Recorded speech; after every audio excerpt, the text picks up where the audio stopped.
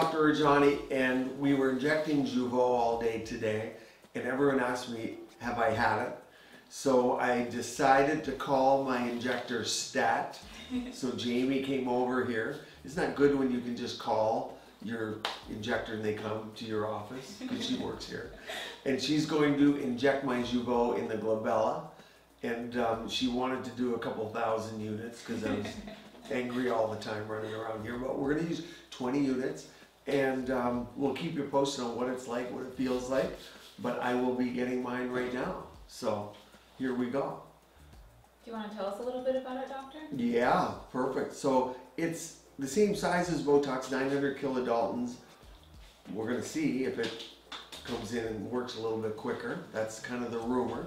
Maybe lasts a little longer. And go ahead and frown for me. Good. And relax. And so, other than that, it should be the same. It should feel the same. I mean, I don't feel that, but that's probably because you're good. Let's see. This one laterally is the one that usually hurts a bit. Not bad at all. Don't feel that. When you get old, you lose your nerve fibers. But it's um, so it's mixed the same. Um, we use the same dilution as we do with our Botox One, two, three, poke. and our Dysport. We actually use a similar for all of them. And as you can see, this kind of stuff's done pretty quickly.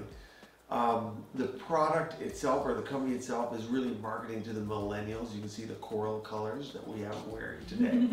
um, and we're excited to see all the nuances because as we inject, we're looking for slight differences in all of our products. Spread of effect, pointed effect, a little bit quicker duration, a little longer, or onset of effect. All those things make us choose a product, right? It's very true. So it's a tool in our toolbox, and we're going to follow this over time. But I'm really impressed with the company, with the product. They're very forward thinking, and it's a new age beauty type of treatment for the millennials, and it's brand new manufacturing. So it's all state of the art stuff. Kind of like when you get a new iPhone, right? Yeah. I just got rid of mine. You Just, oh, I hate getting new phones.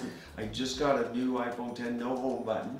I'm Mhm. adjusting, but why use that six when you have the 10? No, The pictures are much better. So it's a, it's a, it's a new neuromodulator. We're gonna keep you posted on how it is. There you go. I got mine.